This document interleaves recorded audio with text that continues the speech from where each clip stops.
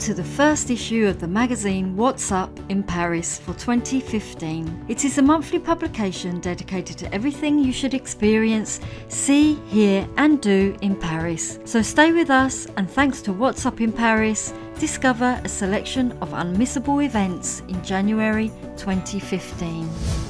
Experiencing butterflies in your stomach at the same time as admiring the view of Champs Elysees from a height of over 65 metres is indeed possible.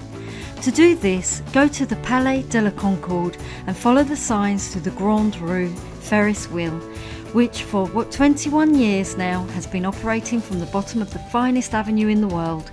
It's 42 gondolas carrying 300,000 passengers per year.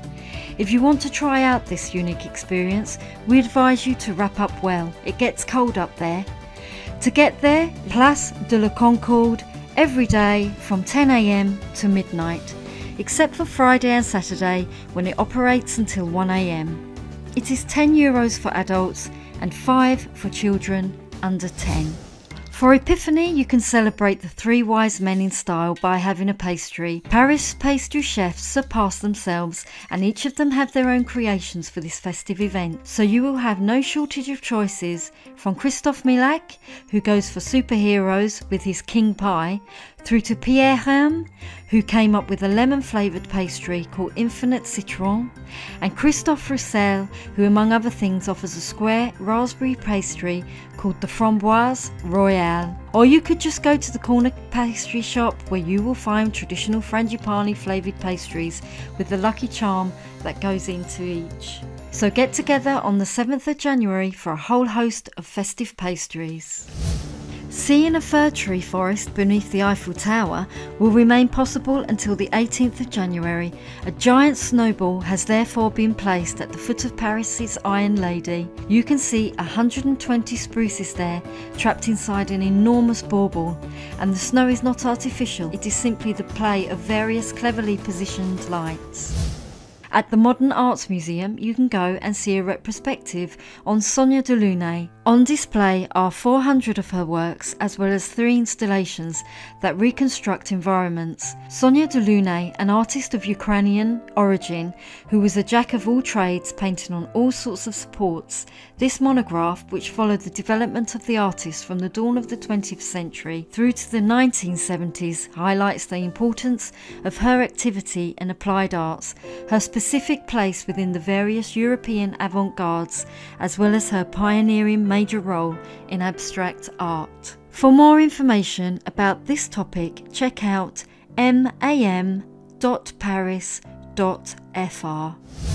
On 8th of January, lovers of Russian dance and music, gypsy tunes and gypsy jazz will not want to miss the big family of the Romanès Circus, who will welcome them under the big top for a concert celebrating the 2015 Russian New Year. On the bill are Natasha and Nuit de Prince, with a special appearance by Dan Gharibian from the group Bratsch and Maxim's most famous broche offered in the interval along with a shot of vodka when you arrive. To book, phone 01 5526 8082.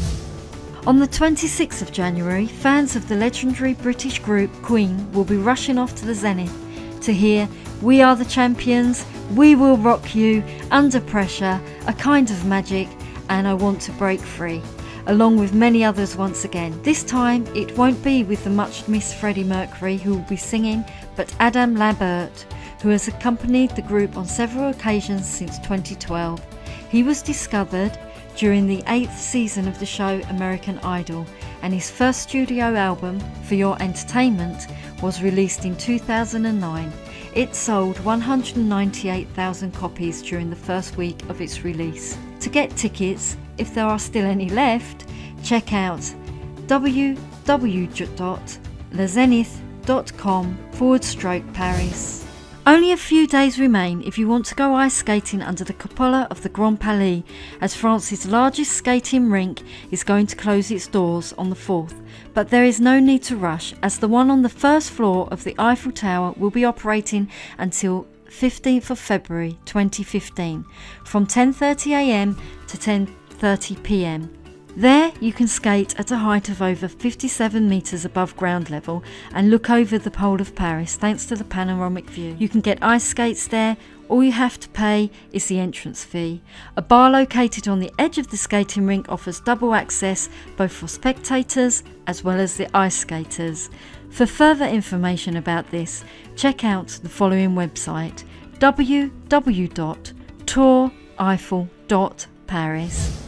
Happy New Year and a happy January to everyone. See you in February.